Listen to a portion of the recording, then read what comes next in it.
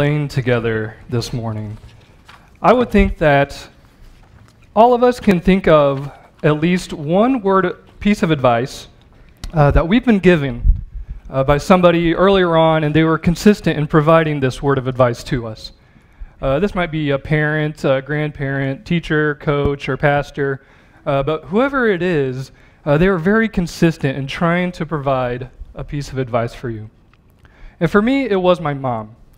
And, and, and all parents repeat many things like wash your hands, uh, finish your dinner, finish your homework, uh, you know, say thank you, or really it's what do you say? And, and, and there, there's a lot of things that re- they repeat. But I remember there was one that my mom said specifically time and time again, and that's to be the example. She said it more times than I could count, and I, I am sure that there were times when she said, Be the example, I just kind of responded, Okay, mom, I know.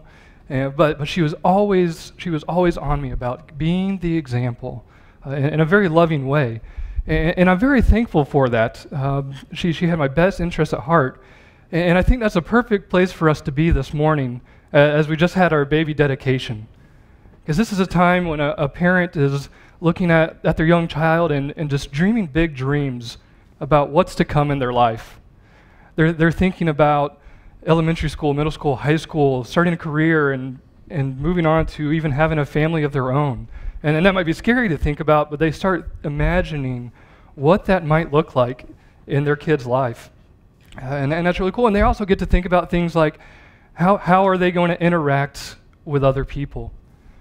in what ways are they going to respond when they face a hardship, whether it was brought on themselves or, or if it was something completely out of their control? It's, it's a time in a parent's life when they really start thinking about what they want for the next generation. And as, as you read the Bible, if you were to read the Bible straight through, you would notice that there are a lot of themes that come up time again, time and again.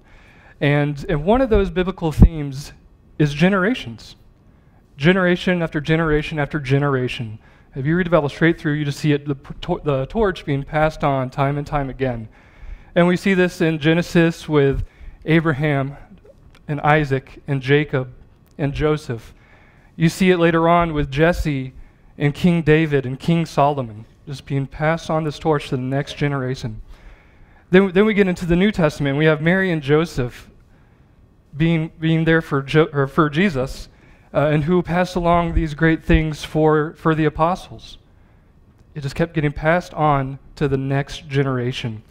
And, and that's where we're going to be picking up this morning because there was one apostle uh, specifically who, who cared deeply about passing on what he knew, passing on his experiences to the next generation because he realized that he wasn't going to be around forever to be able to, to love on the people around him and to serve him and to spread the good news of Christ. Uh, and, and that's the Apostle Paul. Uh, the Apostle Paul, and we're going to get into more of his story later on.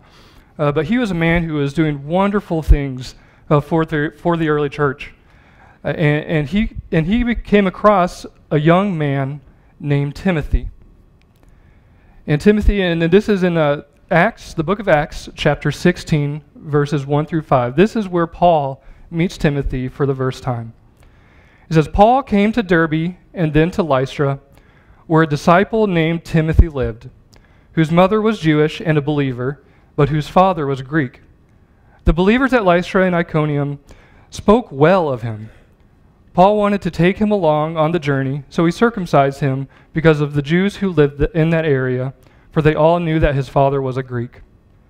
As they traveled from town to town, they delivered the decisions reached by the apostles and the elders in Jerusalem for the people to obey. So the churches, this is cool, this is so cool. That so the churches were strengthened in, in faith and grew in number daily. So this, this is kind of a cool moment, though. We, we meet Timothy for the first time. Paul meets Timothy for the first time. And there are some things that we learn about him right, right off the bat. And that's that Timothy was a disciple, meaning that, that Timothy was dedicated to learning that Timothy was dedicated to learning. He wanted to know the scriptures, he, he wanted to learn everything that he possibly could, uh, which is a wonderful thing. And it also says that he was well spoke of. This young man was, was bright in his community, he was well respected in his, in his community, even as a young man. And, and, and Paul saw something in him that he made him want to bring him along in his journey. That Paul was going town to town trying to spread the good news of Jesus. And, and he saw something in this man, young man that said, I want to bring you with me. I want you to learn this stuff. I want you to be able to do these things that I'm doing. And what, what the Bible doesn't tell us, or what the shepherd doesn't tell us, is exactly how old Timothy is.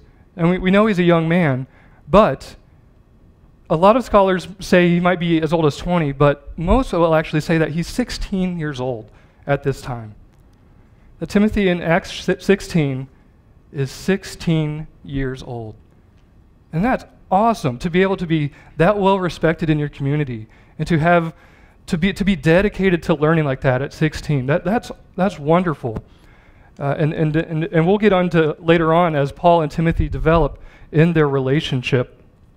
Uh, but as, as we kind of get introduced to this next generation, being the example uh, for the next generation, we're going to be looking at three truths and what it means to be the example for the next generation, uh, based, based off of Paul and Timothy's uh, relationship.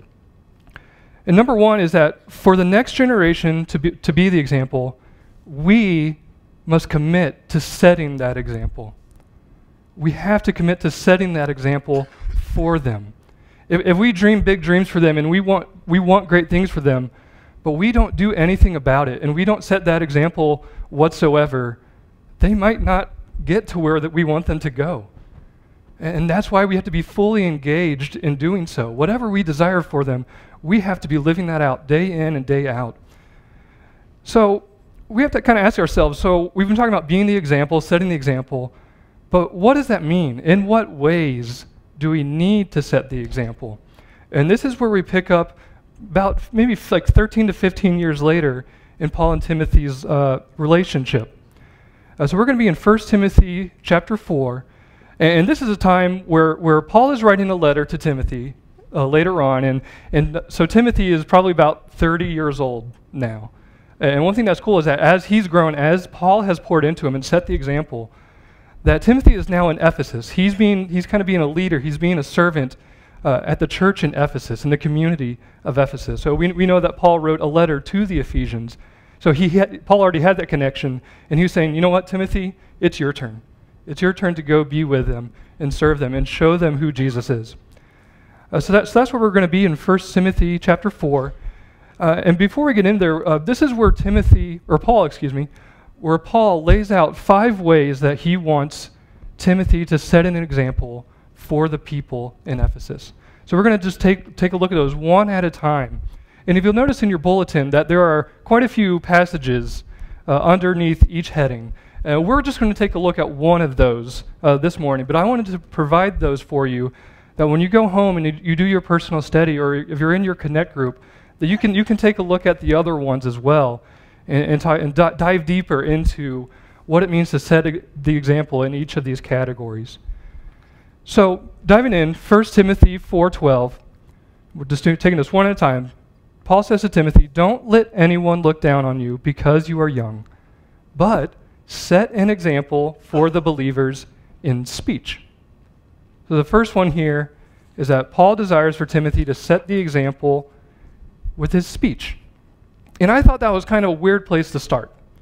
Why, why would Paul just throw out speech as the first thing that Timothy needs to consider?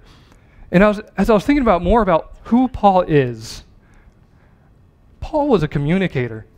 We know that half the New Testament is his writings to, to people or the churches. Uh, he was going from town to town communicating with people. So Paul knew the power of words. He knew the power of, of speech, of how we interact with, with one another using our words. Because he knew that we can use our words in a very negative way that bring each other down, and but we can use words in a very powerful way to build each other up. And that's exactly what Paul knew. Uh, and so he wanted Timothy to think about that first and foremost as he's communicating with the people that he has in Ephesus. He didn't, he, if he, he didn't want Timothy to be in a situation where his communication was so poor or so negative that it didn't really matter what else he did. So we're, we're going to dive in and actually look at what Paul said to the Ephesians, right, right where Timothy was. Paul wrote a letter to them, and he has more to say about how we speak to one another. And this is in, this is in uh, Ephesians chapter 4, verse 29. And Paul says, Do not let any unwholesome talk come out of your mouths, but only what is helpful for building up others according to their needs, that it may benefit those who listen. And I think that's something huge we need to hear this morning. That, but only speak things that are helpful for building each other up. And we have a hard time with that, uh, especially in, in, our families. Uh, we can be quick to respond with uh, just some, something rude. We might not really intend to, but it just kind of happens because we're in the moment. But Paul is saying here only speak what is helpful to building each other up and, and for benefiting those who are hearing you. That, that's what Paul desires for Timothy, that every single thing that he says in Ephesus, that's going to be able to build each other up, build that community up by what he says, to set an example with our speech. So we have speech. We also need to set an example in our conduct, in the way in which we behave, or in the way we which, in which we carry ourselves throughout our lives. And, and, if you go through the Bible, there's, that, that's pretty much all, all, it is, is just how we should carry ourselves, how we should live our lives. You know, we, we have things like, uh, we have things uh, like the Ten Commandments, we have the teachings of Jesus, we have the teachings of the apostles, and what they're trying to do is just help us figure out this whole life thing. How should I behave? How should I interact with people? And, and, and we, might, we might ask ourselves, from time to time, you know, what is God's will for my life? What is He wanting me to do as I go through life? And, and again, we're just scratching the surface here. Uh, dive much deeper uh, when you go home or when you're, when you're with your groups. But we're going to go into Micah chapter 6, verse 8 here. And it says that He has shown you, O mortal, what is good. And what does the Lord require of you? To act justly, to love mercy, and to walk humbly with your God. And that, that's just a wonderful place to start as we're thinking about setting an example for how we live our lives, how we carry ourselves, how we behave.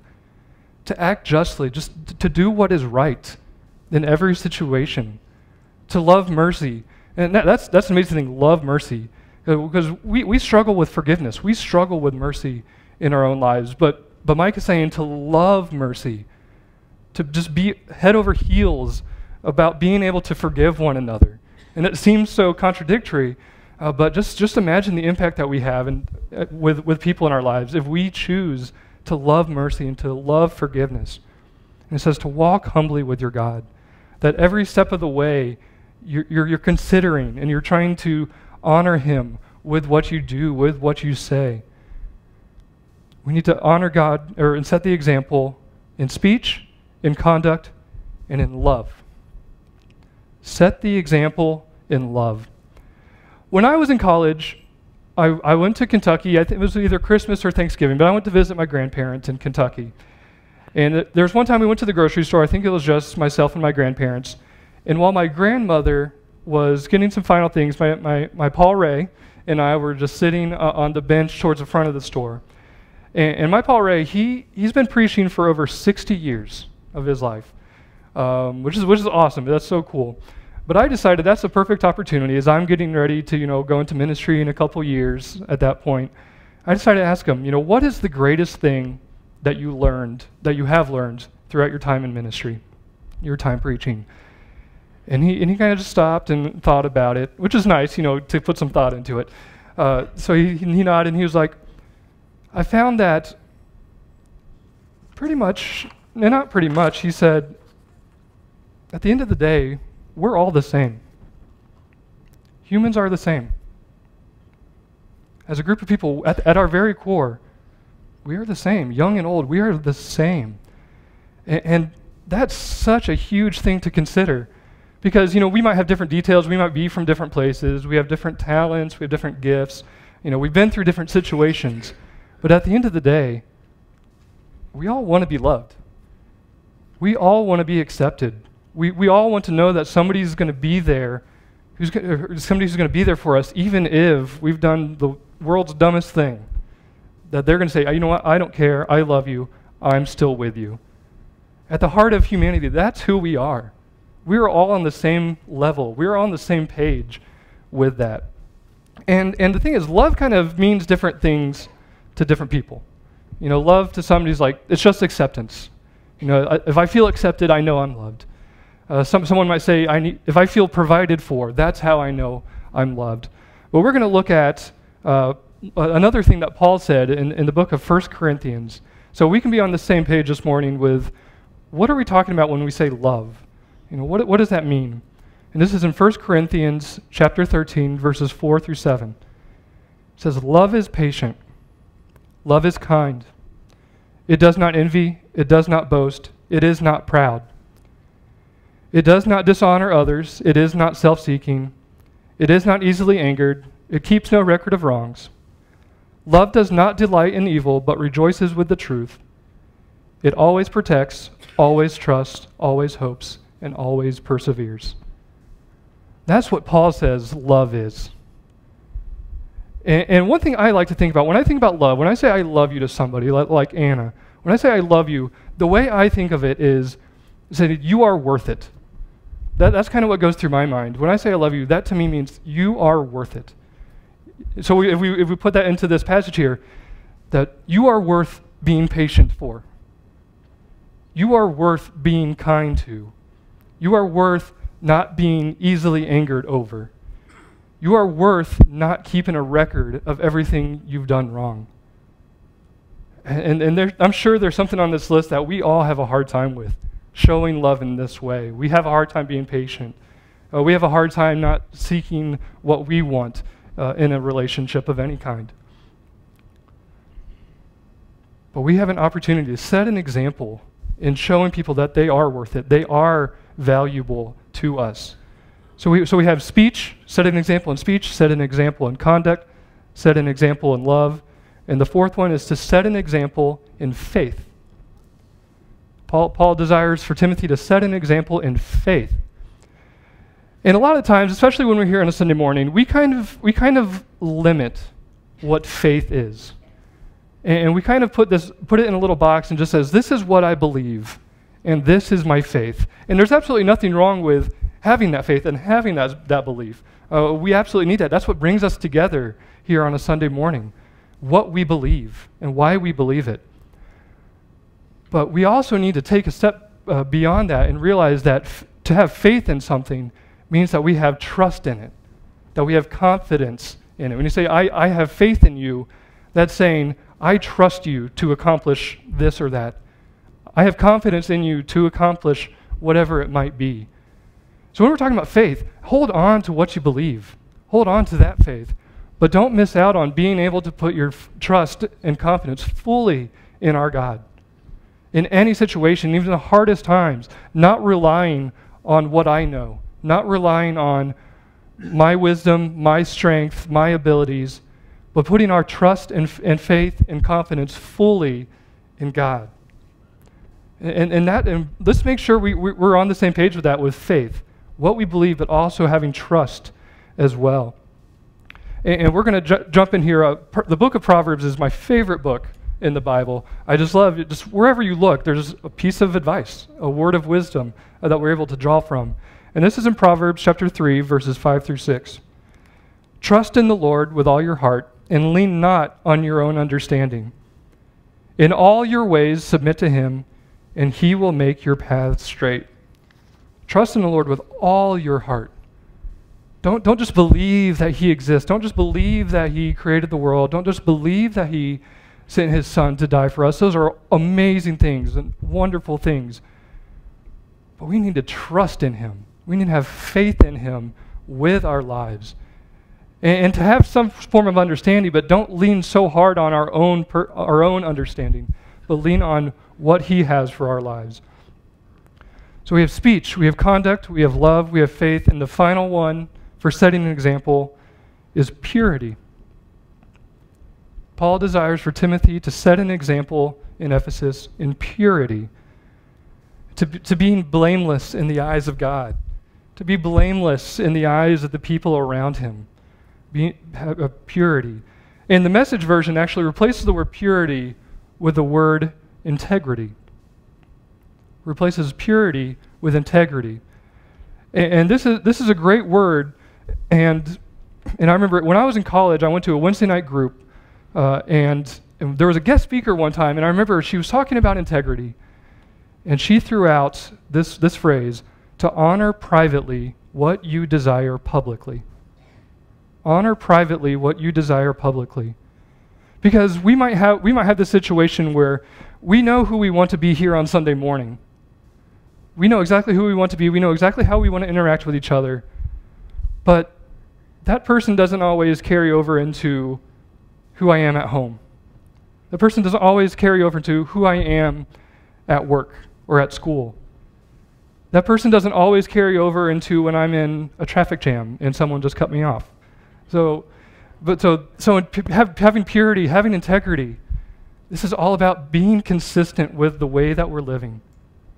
Being pure, being blameless in the eyes of God, but doing that in every single aspect of our lives. And, and as we're thinking about that with, with our actions, our actions come from our thoughts.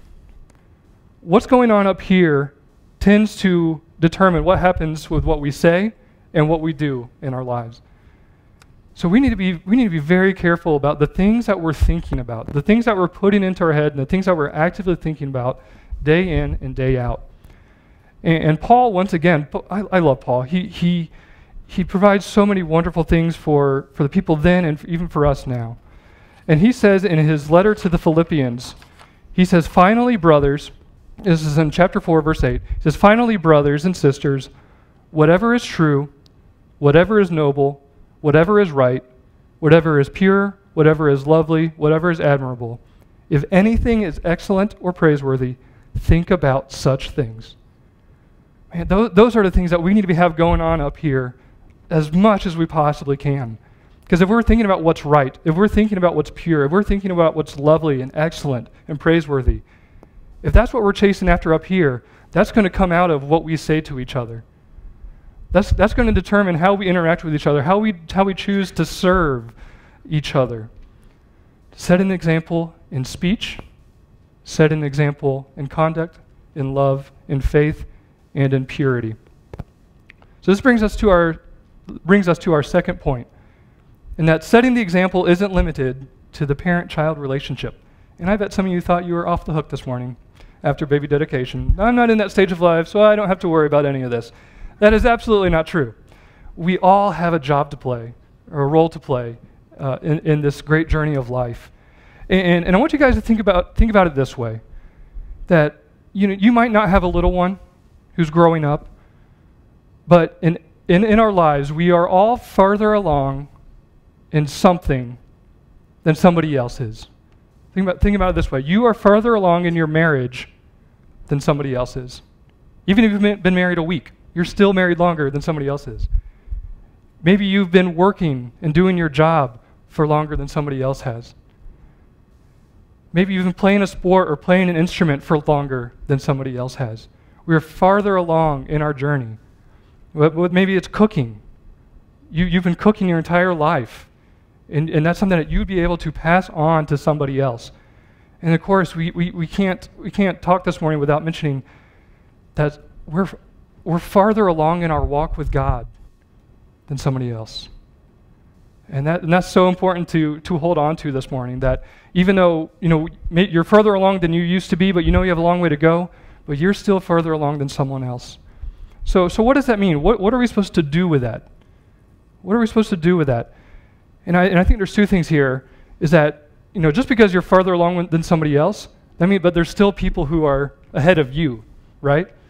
There's still people who are ahead of you. So we need to make sure that we are open to learning from the people who have been there. We need, to keep our eyes, keep our hearts, keep our minds open to the people who have already been through whatever you're experiencing. Be open to that. And, and one thing I, you know, I, I've I'm coming up on my five year anniversary here, uh, serving as a youth minister at Memorial. And, you know, it's, it's, it's, been, it's been so wonderful. I'm so thankful. But I'm still really early on in my life in ministry. I'm still, I'm a five year old. basically. I'm, I'm just a five year old, really. And, and, but, and, but one thing that's wonderful is that everybody else on the staff has been at this longer than I have. They, they, they've been a Christian for longer than I have. They, they, they know how to respond to this and that, and, and I'm able to look at them and just, and just observe and say, okay, I, I want to do this. I, I maybe not want, don't, don't follow their example there, you know, whatever, I don't know. but, but, but we're, I'm, I'm able to, and I'm so thankful for who they are uh, bec- because I do get to look at their experience and learn from that. And then the other thing is, we, we got to go from the people ahead of us who are sharing with us, and we have to turn that around and share what we have uh, learned and what we have experienced with the people who are still coming up in their own journey. We have to do things like that. And not just share the things that we've done well, the, the, the, the positive things about our experiences. We, we do need to share those, but we absolutely have to share where we've messed up. We have to share those hard lessons that we've learned ourselves. And that might seem really, really scary, but those are things that we have to do because when we do that, that, that, that might be saving them from being able to uh, experience the same thing that you did. We have to share both of those things. And, it might, and again, it might be scary to think about where we've messed up, and which brings us to point number three, and that's God isn't done with you just because you haven't been a good example before. God is in no way done with you if you've messed up along the way. And we're just going to go over some examples here, starting with, you know, I, I said that we would go back to, or we would talk about Paul's life. And, and we're going to start with that because Saul is who Paul was growing up and into, into adulthood. But Saul was this man who was known for persecuting Christians. He was a man who was able to sign off on oppressing them, putting them down, beatings, even death. That's what Saul was known for. And to me, that's, not, maybe, that's maybe not setting the best example uh, for Christians, for people who believe in God. But God said, Saul, I'm not done with you. And that's so cool. Even, even a man who led to the death of others, God says, I'm not done with you. And he, and, and he ended up switching Saul into Paul, who went on to do so many wonderful things for the spread of Christianity in the early church. Going from town to town, having to go to prison, having to experience beatings, uh, leading to his death. But he was pour, but Paul was pouring into the next generation. He was writing letters to people and to churches that we still get to read thousands of years later. Paul did awesome things because God wanted to use him. And, and he didn't say, "Oh, Paul or Saul, sorry, you've done you've done messed up. I'm not going to be able to use you anymore. I'm sorry." That's not how God operates at all. And, and we can look we can look at um, other people from the Bible. Just a- anybody you look at, you can see that even though they're, they're known for some wonderful things, that everybody has their baggage. And, there, and there's a list here that Samson was a womanizer. Abraham disobeyed God. Rahab was a prostitute. Moses was a murderer. Jonah ran from God. Peter denied Christ. David was, had an affair. Elijah was suicidal. Paul sinned often. Jacob was a liar. Uh, Noah, Noah got drunk we can see that these people are known for wonderful things, but we can see that they really messed up sometimes too. God isn't done with us just because we have messed up. And, and I talked about my mom being the person who, time and time again, said, Be the example. Be the example. And I think she re- repeated it so much because she knew that there were times that I absolutely was not the example or at least the example that she wanted me to be. So, so my mom is this person who, who said that, that I need to be the example, but she was also the person who got me a t shirt that said, Trouble finds me. She got me a shirt that said, Trouble finds me, just soon after I turned 18 years old. And I, and I tried to find the shirt to bring it up here for a picture. Uh, even online, I couldn't find it. But what it doesn't, what it, what it doesn't tell you is that besides where it says trouble finds me, there was a little stick figure with a policeman in a police car standing right next to him. And then there's a story behind that. And and I wasn't I didn't run away from the cops or anything. I but I was involved from or in a pretty serious speeding incident. And then it was soon after I turned 18 years old, uh, because it, you know that's actually nine days after I turned 18. And, and what that meant, what that meant for me, is that I can do what I want. That's what being 18 year old means. I, I, can do whatever I want. I'm invincible. So what happens is, I get, I, it's my final semester of high school, final semester of high school, driving home, and I just take off. I just take off. And one thing you have to think about is the roads in Georgia aren't like five mile out here. They're not straight. They're not flat. They're, they're winding. They're going up and down. And I think it's a wonderful idea to just drive fast. Gotta, gotta go fast. So as, as I'm doing this, as I'm going home, I turn a corner, and there's Mr. Policeman standing next to his bike, waving me down to pull over. And I did. So don't think I just blew right past him and uh, he, it was a nice little chase there. No, I, I decided to do the right thing and pull over, where I was then handed a speeding ticket, a ticket for reckless driving, and promptly had my truck towed away. So there I am, 18 year old Jacob, standing on the side of the road. Cop's gone, my truck's gone. I'm just like, okay, well, I don't know what to do next. So I pulled up my phone, and this was the phone that I used all those years ago. It, uh, it flips like that, and the best thing is, it has an antenna.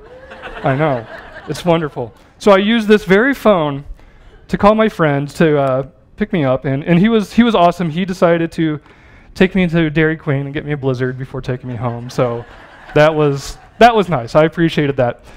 Uh, but then I get home, and that's when I decided to call my mom who I didn't really tell you she's she's a driver's she was a driver's ed teacher too, which did, anyways. So I didn't follow the example is what I'm getting at here. But then so I called her and she's disappointed, of course. But then I called my dad. And he said, "We'll talk when I get home." and the, and to this day, I'm pretty sure that those were the worst 3 hours of my entire life waiting for him to come home but, but through all that, I just remember it's like just being so paranoid, being so on edge about what my punishment's going to be. Are, are people at school going to find out? Are they, are they going to know that I messed up? And, and how, how will they respond to that? And, what, and, what, and, and I'm just so distraught over disappointing my parents by breaking, by breaking this rule really badly. And, but I think that's kind of how we respond when, when we disobey God, too that we, that we get on edge. We get a little paranoid, just wondering, okay, is he, is he going to find out? Is she going to find out? Is, do, do they know? Do they already know? How would they know? And, and, we, get, we get on edge, but we also get so disappointed, or we get so distraught because we're di- we disappointed God, because we let God down. And we just feel so awful because we broke the rules. And we just lost, we, lo- we lost all of our confidence in being, being able to move forward because we messed up. And I had a professor at Johnson. Uh, it, was my, it, was my, final semester there, and, and we had a monthly men's worship, which was uh, such a wonderful experience. And, and Professor jo- Jody Owens said this that obedience to God creates confidence in life. Obedience to God creates confidence in life. That, that if we choose, if we choose and desire to st- stay right in line and obey Him and, and know that His plans are good for me, his plans are what are what, are what are best for me, then I, I can walk confidently. I don't have to worry about wondering if somebody found out. I don't have to be paranoid about that.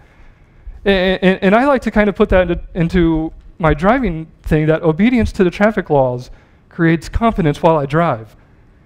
But, but I was thinking about that because if I was just going the speed limit, driving normally, if I, if I was doing that and I turned that corner, my initial reaction might have been like, oh, oh, cop. But then I'd be like, wait a second, I'm fine. I'm, I'm not doing anything wrong. But, but that's how it is with God, too. That, that there, there should be that fear level of, it's like, wait a second, did, did I do that the way that God really wants me to? And then you can t- take a second and reflect and say, you know what? I did. I did remain faithful. I did remain obedient to God. And that's when you can just keep going forward with your life, knowing that you have done the right thing. So, so what do we need to do with all this? We, we've talked about setting an example in speech, in conduct, love, faith, and purity. What, what do we do now? And, and I think that this is where we wrap up with uh, Paul and Timothy here in chapter 4. And this is what Paul says to Timothy after he lays out these uh, examples he wants Paul to, for Timothy to set. Paul says, Until I come, devote yourself to the public reading of Scripture, to preaching and to teaching. Do not neglect your gift, which was given you through prophecy when the body of elders laid their hands on you. Be diligent in these matters, give yourself wholly to them, so that everyone may see your progress. Watch your life and doctrine closely. Persevere in them, because if you do, watch your life and doctrine closely, because if you do, you will save both yourself and your hearers. Just thinking, thinking about the next generation, thinking about the people that we can impact right here, right now. If, we're, if we devote ourselves to Scripture, to teaching, to preaching, if we don't neglect our gifts, uh, if, if we watch our life closely, and that's what it's talking about, setting that example, is watching our life. Don't just, don't just coast through, through life. Watch it closely. Pay attention to what you're doing in your life. And it, persevere in them, because if you do, you will save both yourself and your hearers. So, so we need to be thinking about this morning two things, two final things, and that's out of, out of those five examples of what we need to do to set an example, you know, which, what, do we, what do we need to work on? Maybe our words to our family haven't been the best recently, and I, and I need to do a better job with that. Or maybe my integrity hasn't really been so hot lately, and I really need to get that worked out. So think about what adjustments I, ha- I have to make throughout this week. Going into this week, what do I need to work on? But then also, we need to make sure that we know who that next generation is. Who are those people that we can look at and say, I want to set an example for this person?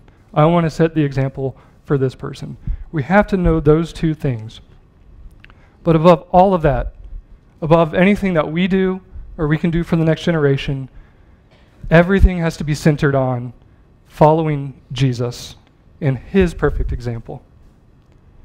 Because Paul set a wonderful example, and, and the people in the Bible, they set wonderful examples, but as we saw that list earlier, they also had their bad moments. It's Jesus' perfect example that we need to base everything on. His perfect speech, which brought healing, which brought hope, which brought love and care. His, his perfect conduct that, that has taught us how we're, how we're supposed to interact with one another. His perfect love, which also brought healing, but also sent him to the cross for us. His perfect faith, which even though even when he was getting arrested, mocked, beaten, and set, set up on that cross, he remained faithful to God. He remained trusting and confident in God's plan more than what he was experiencing. And a perfect example of Jesus with his purity, that when he was being tempted by Satan, he, he remained faithful. He remained pure. He remained blameless throughout his life. In everything that we do, let's center it on Jesus and his example. Because as we're talking about generations, it went from Jesus passing it on to the disciples, who passed it on, who then passed it on to people like Timothy. And it's been going on and on and on and on for 2,000 years. And it has landed on us in 2018 to take that role of, of what we need to do next. Please pray with me. Heavenly Father, thank you for sending your Son into this world. Thank you for loving us in the way that you have done. And, and, and help us not to get so caught up in the busyness and the distractions that, that we, we miss out on being able to invest and set an example for who's to come after us. Help us to be forward thinkers uh, for your kingdom, for, for this world, that everything that we do sets up your kingdom in this world to be a better place. God, we love you so much. Thank you for who you are. Thank you for the example of Paul and Timothy and their relationship that we can look at this morning. God, you are so awesome. And I just ask that as we go, th- go throughout this week, that we can do everything in our power to follow you. We love you, and it's in your name that we pray. Amen. So, if, if, if, if you've never really experienced what this means to follow in Jesus' example, uh, or, or if, you, if you have any prayer requests, uh, and you want to know more about that, you want to know more about how I can follow him with everything that I have, or if you have questions about baptism and, and you think that might be your next step, what we're going to do is we're going to have some people come up and, and, stand up here in the front and around the sides. So as you stand, uh, come and, and let's worship together.